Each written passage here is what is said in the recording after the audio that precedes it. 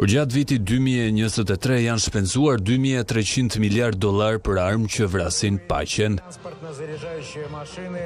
Kjo shënon kështu një nivel të ri historik dhe një hap tjetër në rritje të pandërprerë që nga viti dy mijë e shtatëmbëdhjetë.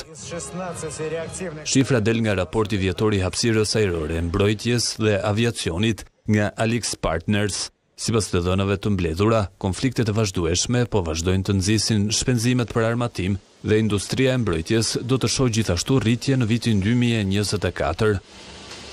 Burimet e alokuara për ekonominë e hapësirës po rriten gjithashtu.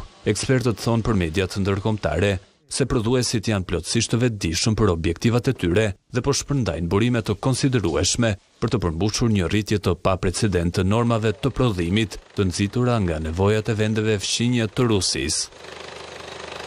Në veçanti Shtetet e Bashkuara të Amerikës mbeten vendi lider në këtë sektor, por me një bilanc të qëndrueshëm, tridhjetë e tetë për qind e shpenzimeve globale ushtarake vijnë nga Uashingtoni, Pentagoni ka rritur eksportimin e armëve me tetëmbëdhjetë për qind, lufta e Rusisë në Ukrainë është karburanti kryesor që ka furnizuar këtë rritje.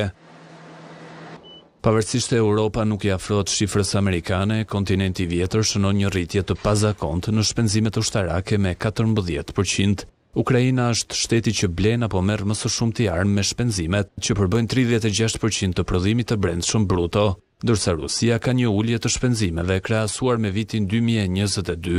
Gjithashtu edhe Kina rreshtohet mes fuqive globale që ka shtuar shpenzimet ushtarake.